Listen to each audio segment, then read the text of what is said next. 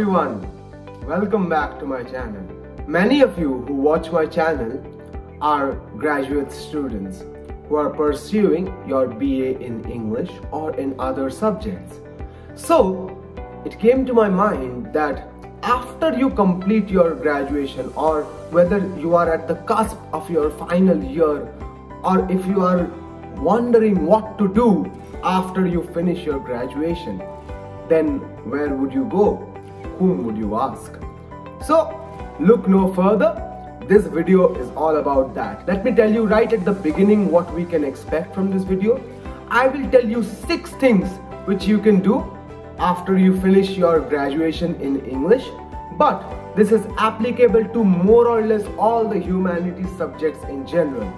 And since you have watched up until this point, why don't you press the subscribe button and the bell icon next to it so that you can get an update from me whenever I upload a video. So let us begin. I will keep the obvious bit about continuing your studies or pursuing higher education for the very end. So those of you who want to pursue higher education, you have to watch till the very end.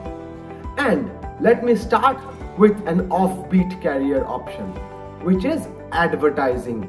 Those of you who have watched Friends, especially this clip. Let's start with the A's. Advertising. Wait, advertising, that's a great idea. Well, don't you want to look through the rest? I don't think I have to hear the rest. Advertising makes perfect sense. They know advertising is a very fun industry to be at. You have seen many innovative ads in the years you have spent on social media, and you have seen some problematic ones too. How do you think these ads come into being? It's people like you and me who contribute to it. So, the industry of advertising is a booming industry. There are many possibilities in that. Mostly, the possibility which a student of English literature can generally avail is that of a scriptwriter. But in addition, they can also do all other sorts of works like an executive producer, the cinematographer, the director, anything for an advertisement, or the public relations manager. How would you know when advertising jobs would come up? And how would you start this journey? Well, I am not an expert in this domain, but I am giving you the heads up that advertising as an option exists and it's a very fun industry to work at. You can start by learning about advertising from the free courses available on websites like Coursera and other websites. Or you can ask friends who have already done something in the advertising industry or are in some way or the other associated with it. So if you go into this industry, then you must be prepared for a little bit of struggle. You might not get a very good job which will sustain you right at the onset. But I believe that is true for more or less every industry and advertising is no exception. Next, I will talk about one of the most popular jobs which you can get right after your graduation, which is that of a journalist. If you are planning to step into journalism, then I suggest you start your internships with the popular newspapers, especially Times of India, Statesman, Telegraph, or if you want to do it in Bangla, then Anandabajar Potrika, Bortoman, Ei Shomoy, and the like. In these papers, you must try to get an internship. Just apply to them straight away. And in general, they also hire interns from time to time. So try and get in these internship programs. I'm sure you know someone or the other who has worked in one or the other of these newspapers. So get in touch with them. Ask them how did they get this job? How did they manage to write so many articles for that paper? What is the process? For every job, the first and the foremost step that you must take is to ask people who have already been there and done that. For journalism, one thing is absolutely mandatory that is your English or your Bangla, whichever language you're writing in, has to be absolutely flawless and not only flawless, it has to be lucid and good to read. Journalism is a very good job opportunity and it would also give you an opportunity to explore the things around you, know more about the society which you inhabit, and have an impact in the world around you. Of course, journalism takes a lot of time. You have to start right from your graduation days, and it would be preferred if you have a degree in mass comm and journalism, especially at the PG level. St. Xavier's does a beautiful course on this, so does Jadavpur University. If you want to enroll in them, please go ahead. These degrees generally help because they give you a lot of contacts which you can use to get these jobs. So if you're looking for journalism as your career option, I suggest you do a degree in journalism as well. That will not only help you academically but also will help you career-wise. Then let us come to the most interesting possibility which you can take right after your graduation in English. This is not a job opportunity so as to speak, but this is a very interesting possibility, which is creative writing and blogging. You can be a creative writer too. Of course, if you are looking to make money out of this, it will take a long time, a very long time. But the process is very fulfilling. It helps you shine as a person, and this is probably the only opportunity which you can take after your graduation where you have an opportunity to become famous in the long run.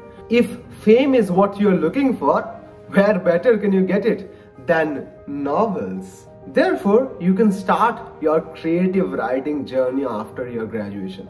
Though I should give a disclaimer that you should take this possibility seriously only if you have a fail safe, if you have well to do parents, or if you come from a well to do family where you don't need to earn right away, then you can take this option because, as I said, it will take a lot of time.